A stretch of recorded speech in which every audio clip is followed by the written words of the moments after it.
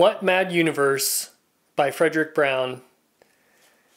All right, so this is the 12th book in a series I'm doing called The Masterpieces of Science Fiction. There's 140 books in this series, and this was number 12.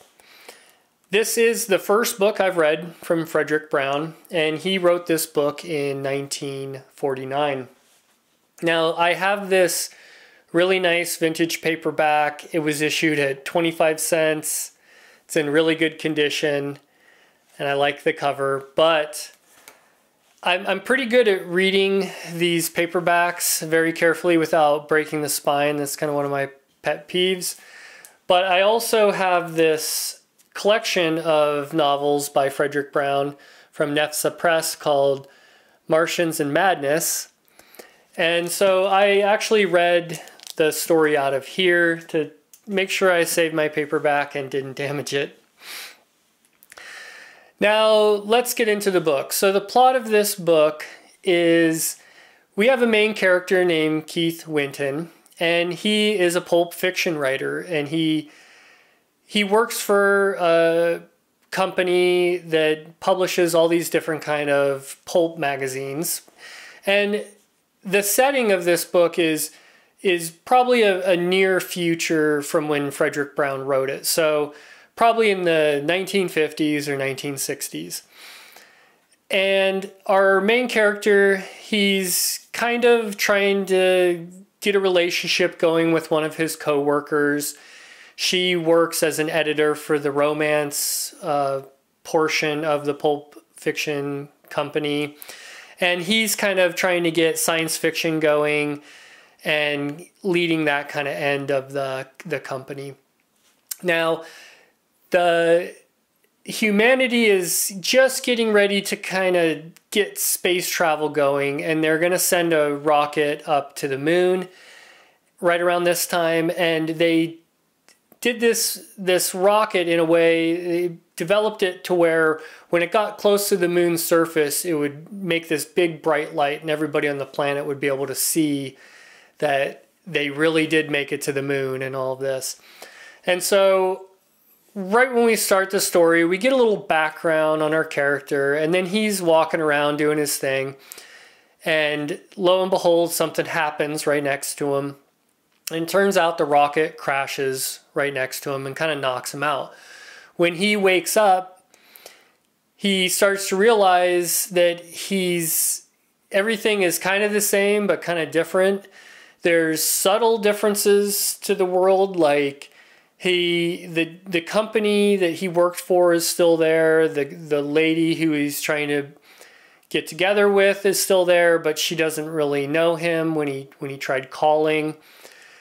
Um, there's little differences that he starts noticing, like people don't use regular money; they're using credits instead. And when they see regular money, they're acting really weird and and like they want to run away from him.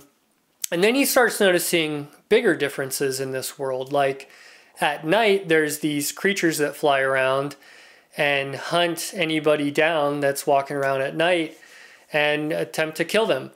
There's also these seven foot tall, purple, hairy moon creatures and if you saw the thumbnail of this video of an alternate cover of the book, you'll see what an artist kind of interpreted them to look like.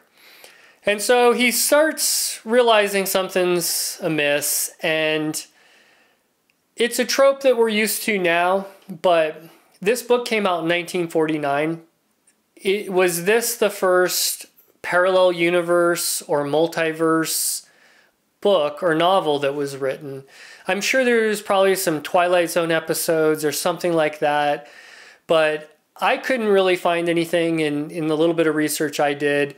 If if you know of any parallel universe books or multiverse books that came out pre 1949, please leave those down in the comments. I'm just kind of curious about that. And but but what our main character realizes is he's in a different universe. He doesn't really like it and he wants to get back home. So we spend the rest of the novel kind of following him on this mission to try to get back. Now, the book was only 180 pages, so it was a pretty fast read. And I got through it pretty quick. Let's go over some pros and cons next. The pros, this was just a fun, easy, light-hearted read that had some comedy, some satire about science fiction and pulp magazines. It had satire about the way women are di- displayed or talked about in these books, which I thought was really interesting. And it was just overall just a really fun, easy read. As far as cons, there's not really a lot of cons for something like this.